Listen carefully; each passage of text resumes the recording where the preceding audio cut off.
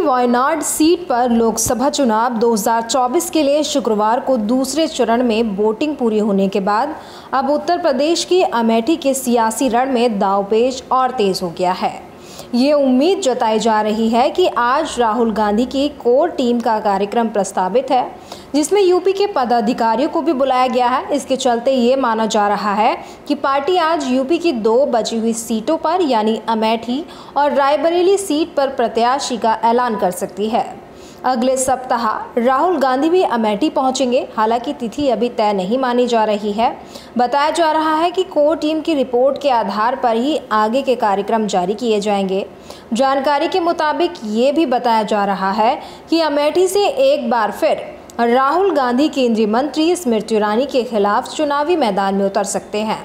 आज इसको लेकर सीईसी में कांग्रेस अपनी मोहर भी लगा सकती है। लेकिन खास बात यह है कि अमेठी या रायबरेली से नाम राहुल गांधी का चर्चा में है।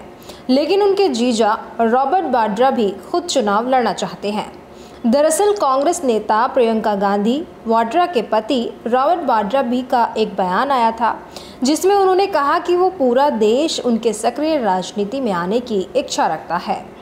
रॉबर्ट बाड्रा ने यह भी दावा किया कि अमेठी से मौजूदा सांसद स्मृति ईरानी ने अपने वादे पूरे नहीं किए हैं। स्मृति के खिलाफ बयान देकर रॉबर्ट बाड्रा कहीं ना कहीं सीधे तौर पर राहुल गांधी को चुनौती दे रहे हैं कि अमेठी से वो राहुल की जगह चुनाव लड़ना चाहते हैं। बता दें, रॉबर्ट बाड्रा काफ़ी लंबे समय से चुनाव लड़ने की इच्छा जताते रहे हैं, लेकिन कांग्रेस पार्टी उनके नाम पर सहमत होती नहीं नज़र आ रही है।